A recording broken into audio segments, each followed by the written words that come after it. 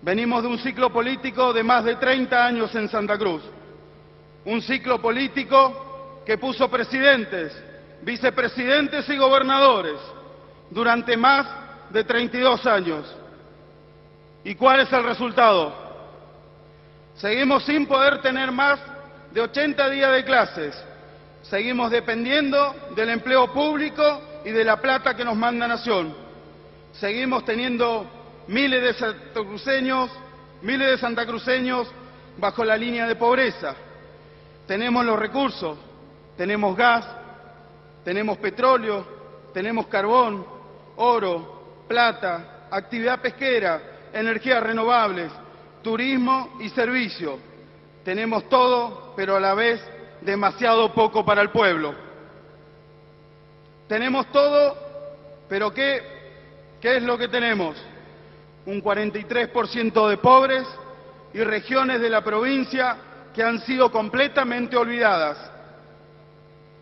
Tenemos un déficit fiscal anual en servicios públicos de más de 21.600 millones, en Distrigas más de 4.800 millones, en la Caja de Servicios Sociales 42.000 millones, en los municipios 12.000 millones y en la Caja de Previsión 48 mil millones.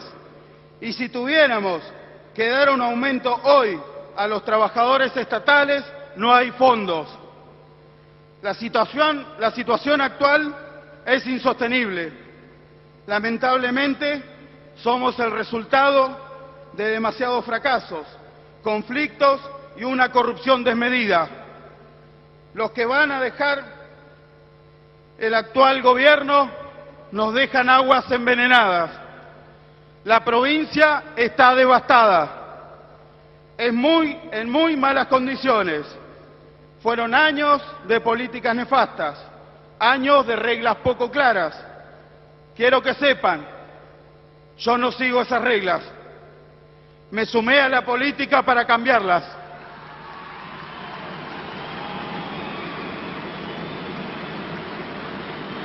Es el momento de probar que si, se, administra bien, la plata alcanza. Es el momento de probar que no somos todos iguales y no todo da lo mismo. Venimos de una etapa de excesiva concentración del poder, que tuvo como resultado decisiones equivocadas, excesos y abusos. Nosotros venimos con la decisión de cambiar esa forma de ejercer el poder. Vamos a hacer un gobierno que va a respetar en forma irrestricta los límites que establecen nuestra constitución provincial, nuestras leyes, nuestras instituciones. Significa hacer del Poder Judicial un ámbito independiente que le dé certidumbre a las instituciones y a la vida en común, y no un Poder Judicial rodeado de militantes políticos. No busco revanchas. No busco revanchas. El futuro está en nuestras manos y lo vamos a construir entre todos. No me importa de dónde vienen los que me acompañan, sino hacia dónde vamos. No más odio, no más divisiones, no más mala política, no más prepotencia, no más soberbia, no más corrupción. Basta, se terminó. Tenemos que animarnos a encarar la deuda educativa que tenemos con nuestros hijos. Debemos recuperar el salario y las condiciones de trabajo para los docentes.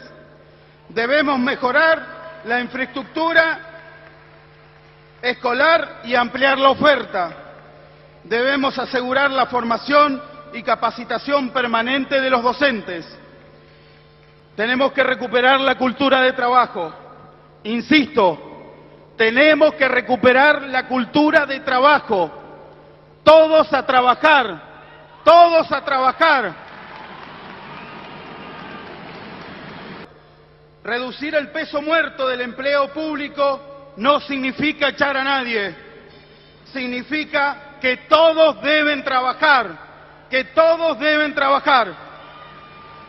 y que el Estado debe reconocer y pagar sueldos dignos al empleado estatal, brindar herramientas para que preste un servicio público de calidad, pero al mismo tiempo necesitamos mayor generación de empleo privado, porque son las empresas las que generan empleo.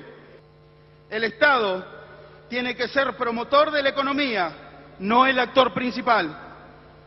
Santa Cruz debe afianzar su perfil productivo, aprovechar nuestras ventajas en los sectores en donde somos más competitivos y atraer más inversiones para generar más emprendimientos productivos. No vamos a crear más impuestos a la producción, ni subir los que ya existen, porque no queremos ahogar a quienes generan trabajo en Santa Cruz. Es hora de poner en marcha la zona franca industrial y comercial. Es hora de crear parques industriales con acceso al gas y a la energía, libre de impuestos provinciales.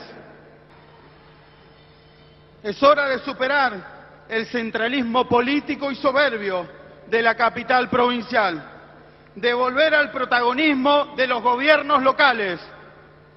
Es hora de hacer un nuevo federalismo en Santa Cruz, pero un federalismo en serio.